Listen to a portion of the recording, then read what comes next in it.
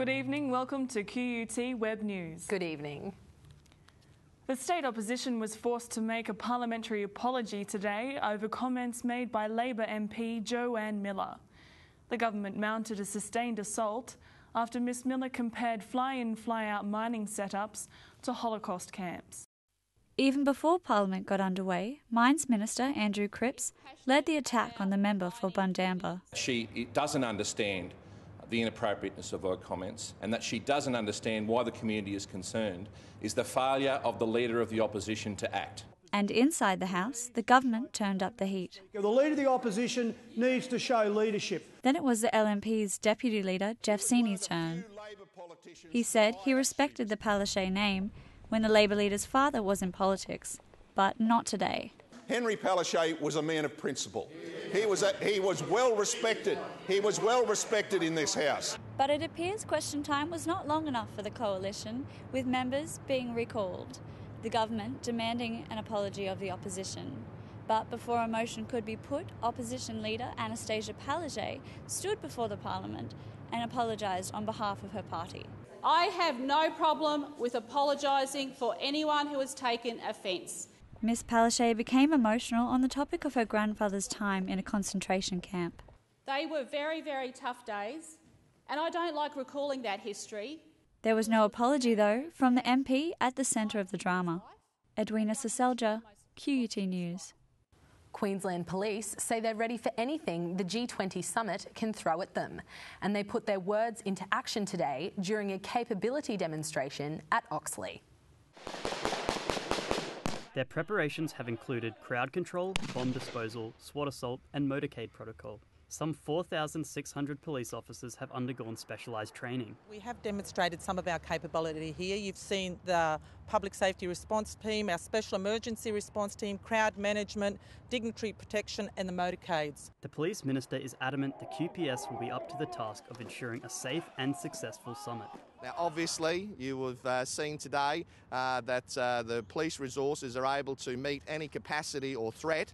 The demonstrations took place at the QPS Academy with media crews looking on. The QPS took the opportunity to showcase their responses to various security threats which may arise during the G20 summit. The Assistant Commissioner says the specialised training will have a positive impact stretching beyond G20.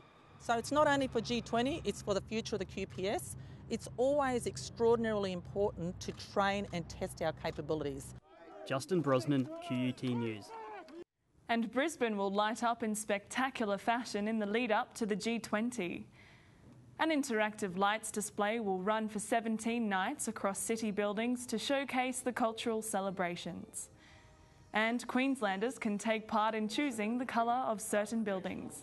Uh, major civic buildings around the city, like uh, Parliament House uh, and other major buildings in Brisbane City. Uh, it's a, a, huge program and it's going to be a fantastic celebration uh, for Queensland and for the world. Thousands of international delegates are expected at the summit. The Prime Minister has admitted it's possible the cost of going to university could rise under the budget's deregulation of fees. He's publicly apologised for yesterday's winking gaffe.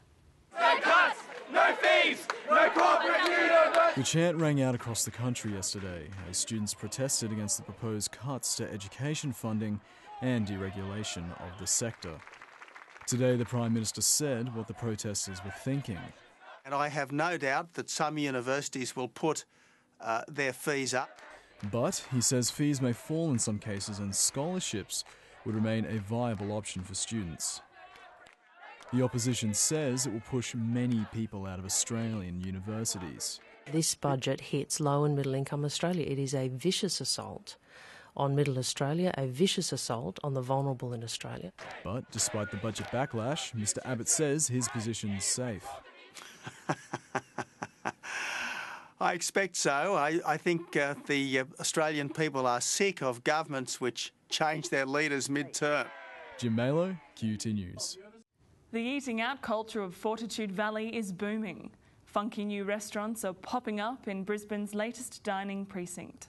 The Valley focus is cultural fusion and quirky dining. The music hotspot now provides a variety of eat in options for a new brand of patrons. I think that the Brisbane consumers become more savvy. They don't want to spend as much, but they really want excellent quality food, a fantastic place to dine. The trend has brought in some smart entrepreneurs. I think they're looking for an experience that a bit more of adventurous experience, but still one that feels safe to them and is multicultural and is a lot more casual and fun. It's a different environment to that of the city, with cheaper meals and more accessible parking. Easy, convenient, easy parking, easy to get around. Uh, we service young families. You don't want to be taking your young kids into the city with all the traffic. You can stop over here. There's a there's a great food offering all around. You can come and get desserts and coffee next door, and uh, it's great for the local the local community. American style dining is the Valley's latest craze. Restaurant owners say it's the fun international theme and casual dining experience that set the Valley apart. We are fresh and wholesome business. We're here for the community. Um, we, not, we do nothing fancy. It's just hot, fresh, and succulent food with great people, friendly environments, coming into our home and having fun. And a large wings and a chicken, and a large chips and a chicken wings. Tegan West, QUT News. More than 300 boat exhibitors from around the world are showcasing their very best at Sanctuary Cove. The International Boat Show opened today. Little boats, big boats, jet skis, and cars. The boat show has something for all enthusiasts and budgets. You can even take on a world record breaker. Andrew Abrahams completed the 5,000 kilometre Atlantic Challenge solo in January. Uh, I saw whales, dolphins. Uh, I had a marlin follow the boat at one stage. I even saw in the middle of the Atlantic, a thousand miles from land, I saw a butterfly come past, and I thought, where did that come from? Staging the show at this time of the year is the perfect time perspective for boaties. It's an opportunity for them to decide what they might purchase in time for summer. And the price range sits well with some customers. Yeah, some of the prices are good. You shop around and you get a good price, particularly at the show. Uh, here you get a good price going. Yeah, sounds pretty reasonable for a boat, yeah. But others thought the prices were a bit steep. Not the greatest. I think a bit expensive compared to compared to overseas and places like that. A bit expensive here. Alongside the boat, there's plenty of other entertainment, presentations, demonstrations, and of course, food. The show runs until Sunday. Jacinta Lal, QUT News. Good evening. Time to take a look at the weather.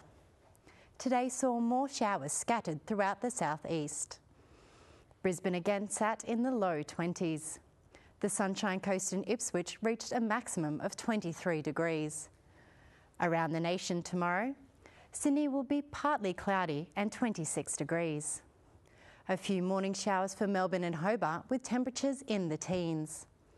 Possible showers for Adelaide. And Darwin will be sunny with a max of 33.